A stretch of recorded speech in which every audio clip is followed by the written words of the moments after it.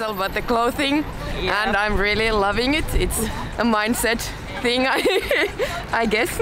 Yeah, just a lot of clothes and uh, the attitude. Yeah, we think it's beautiful. You have to embrace it. Yes. So first of all, cover the head and then have a scarf that you can cover your face if needed.